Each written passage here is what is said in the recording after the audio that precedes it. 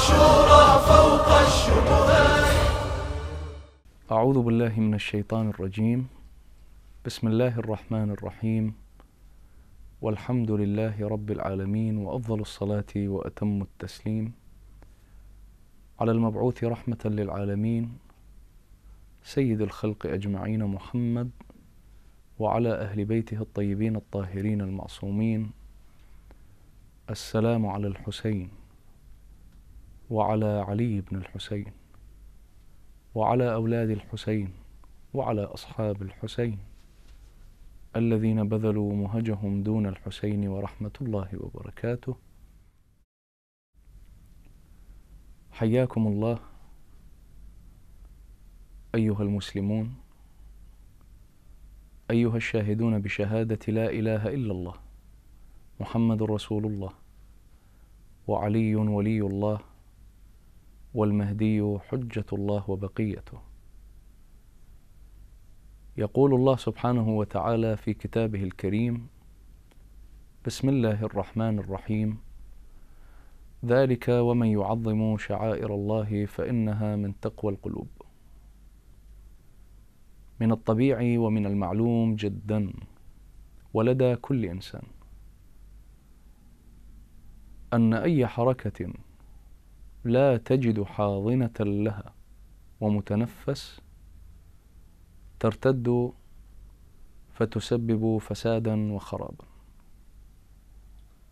وعليه اعتمد الإنسان ومنذ فجر بداياته على إيجاد متنفس لتفكيره متنفس لإيمانه متنفس يستطيع من خلاله إيصال ما يعتقده إلى الآخر.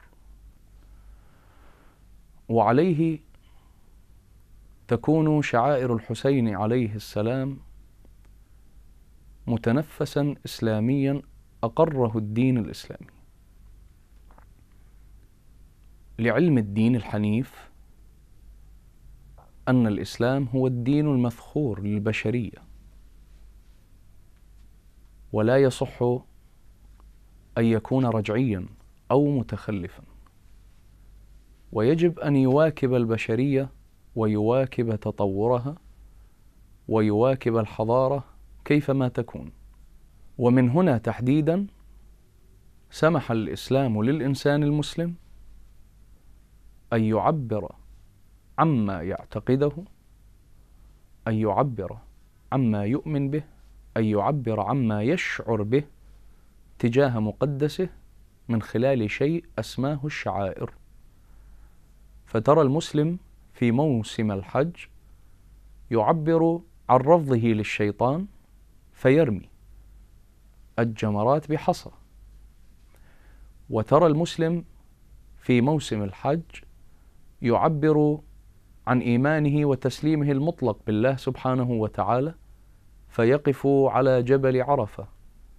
ويعترف لله بالربوبية ويعترف لله سبحانه وتعالى بأنه معبود وأنه أي الإنسان عابد له. الحسين عليه السلام سبط رسول الله إمام الأمة حجة الله قائد الإسلام وقائد المسلمين. خرج للإصلاح في احد وستين ضد متنمر ضد أفاك ضد أثيم ضد مزور اسمه يزيد ابن معاوية. ارتدى زي الإسلام وسار في الأمة مسيرة فرعون فأفسد وصادر إرادة الأمة الإسلامية وصادر حريتها وصادر اختيارها فكان أن تصدى له الحسين عليه السلام في مشروع إصلاحي متكامل الهدف منه الحفاظ على الإسلام على بيضة الإسلام. ونتيجة ذلك ذهب الحسين عليه السلام قتيلا شهيدا بكربلاء قطع رأسه ورفع على الرماح سبيت حريمه إلى الشام المسماة بسوريا في العصر الحديث وأحرقت ونهبت خيامه. الفرد المسلم في العصر الحديث يجد أن محورية الدين وتمركز الإسلام في تلك القضية في تلك الواعية في ذلك المشروع. وعليه يقوم الفرد المسلم في كل عام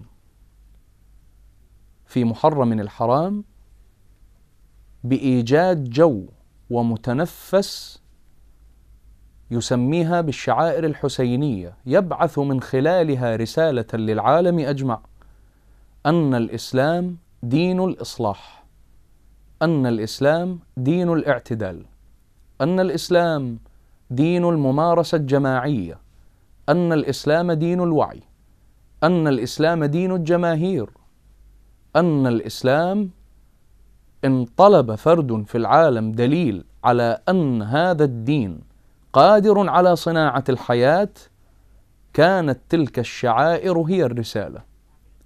بحيث تقول لذلك السائل إن الواقع أدل الأدلة وهذا الواقع. في الحسين تتنفس الجماهير الوعي. في الحسين عليه السلام تتنفس الجماهير المعتقد في الحسين عليه السلام تتنفس الجماهير وتتغذى كيف تكون قادرة وممسكة بزمام الأمور.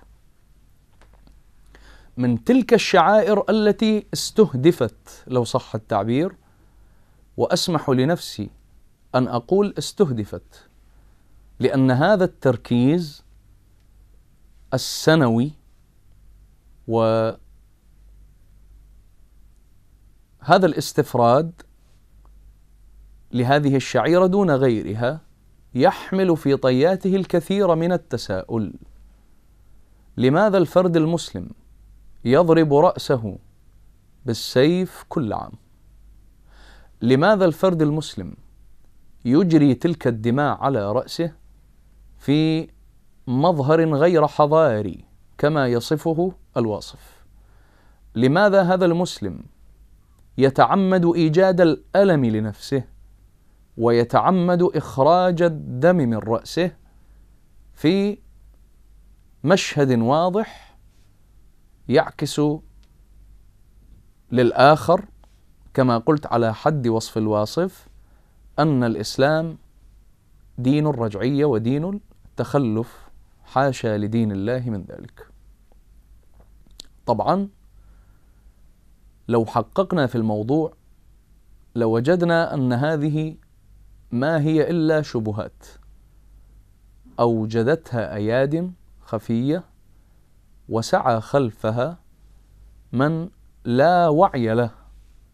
أقول أي من لا ينظر إلى فواصل الأمور. إلى بواطن الأمور إلى مستقبل تلك الحركات ومستقبل تلك الأفعال. أنت تنظر إلى الصورة التي تشاهدها أمامك لكنك لا تنظر إلى الجهة الأخرى لا تنظر إلى إقرار الله عز وجل لتلك الشعيرة حيث قال ذلك ومن يعظم شعائر الله والمفهوم من التعظيم هو الاهتمام. والإيمان بتلك الشعيرة. وشعائر الحسين شعائر بإقرار المعصوم عليه السلام لها. ثانيا أنت تقول أن التطبير أمر مستحدث ولم يوجد في زمن المعصوم وهذا دال وكاف وواف لتفنيده. نظرت إلى هذه الزاوية ولم تنظر إلى زاوية أخرى وهي أن الإسلام دين التجدد ودين التطور ودين المواكبة ودين المرونة. وعليه فالإسلام يستطيع إيجاد حكم لكل واقعة. حتى قال المعصوم عليه السلام ما من واقعة إلا ولها حكم في الإسلام. فإن حصل التطبير في العصور المتأخرة فهنالك نائب للمعصوم فقيه جامع للشرائط يمثل القيادة الفكرية لهذا المذهب. يعرف كيف يقرأ النص ويشعر بالمسؤولية تجاه ما قاله الله سبحانه وتعالى وتجاه ما قاله المعصوم عليه السلام والحال أن أغلب الفقهاء لو جاز لي التعبير أن أقول قد أجازوا تلك الشعيرة وأقروا تلك الشعيرة ودعوا المجتمع إلى عدم تركها. ثالثا السيرة العقلائية التي تنظر عقلاء القوم عقلاء المجتمع عقلاء الأمة. عقلاء الأمة حين ينظرون إلى واقع هذه الشعيرة وواقع نقدها يعلمون تماما أن تلك الشعيرة فعالة جدا. وأن معسكر العدو يخاف منها جدا. أرجو من الشباب المسلم أن يركز في هذه الجهة. العاقل ينظر لماذا هذا الاستفراد بتلك الشعيرة دون غيرها. ألا يدل هذا على أن هذه الشعيرة تخيف طرفا تخيف معسكرا لو كانت خالية من هذا الشيء لما صب عليها جام غضب الكثيرين بحجة أن ظهور الدم مظهر لا يتناسب وحضارة الإنسان إن كانت حضارة الإنسان يقررها الإسلام فأدلة الإسلام واضحة في إقرار هذا الجانب هل تسمعني أيها الشاب؟ إذا كانت الحضارة يقرها الإسلام دينك مبدأك معتقدك شرفك. إن كانت الحضارة يقرها الإسلام فهذا هو الإسلام واضح في إقرار شعائر الحسين عليه السلام وبين ويقول لك وأعدوا لهم ما استطعتم. أرجو أن تفهم وأعدوا لهم ما استطعتم. أرجو أن تدرك لماذا الفقيه لم يوقف هذه الشعيرة. لأن هنالك عدو لله يخشى أن يراك بمظهر الثائر وأي مظهر أعظم من رجال لبسوا الأكفان وهدروا هدير الأسود ونزلوا إلى الميدان حاملين سيوفا يقولون لكل من يتنفس الإرجاف. ولكل من قبل على نفسه أن يكون ذيلا لعدو الله. وعدو الإسلام ها نحن رجال الله. نسير سيرا حثيثا نحو نهج الحسين نهج الإصلاح. إن تطلب الإصلاح دمنا فها هو الدم يرخص. في سبيل الثورة في سبيل المشروع في سبيل الإصلاح. في سبيل التغيير في سبيل إيجاد واقع أفضل للمسلمين. أتريد أن تقتنع بكلامي؟ انظر إلى المفخخات. انظر إلى التفجير. انظر إلى الدماء التي سالت. من أنصار ومحبي وموالي والمؤمنين والمعتقدين بنهج الحسين عليه السلام سالت دماؤهم على الأرض وسط سكوت مطبق من العالم من الحضارة التي أنت تقول بها. أين حضارتك؟ ولم لم تستنكر ما جرى في بغداد وغير بغداد؟ ما جرى في العراق؟ ما جرى في الكويت؟ ما جرى في بلاد الإسلام؟